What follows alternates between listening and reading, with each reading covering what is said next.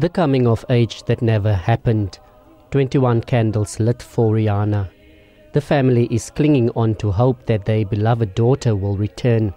She left the family's Galeshewe home in February 2010 to visit a friend. She never arrived there. Nobody will understand the pain that I'm going through unless something like this happens to you.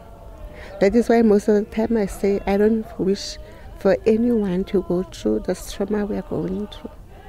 It's, it's for five years. You ask yourself one and the same questions, and they, every time they get more and more, but there's no answer in what you want, to, in what you are asking yourself about. Local bikers have supported the family since Rehanna's disappearance.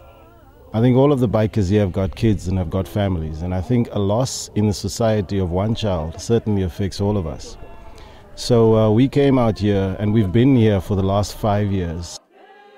41 year old Franz Willifant never confessed to the crime, but he was convicted on circumstantial evidence and sentenced to 36 years in prison. Rehanna's family remain hopeful that she'll be once again walking through this gate one day. The only comfort they have now is seeing someone behind bars for her disappearance. Reginald Witbooi, SABC News, Kimberley.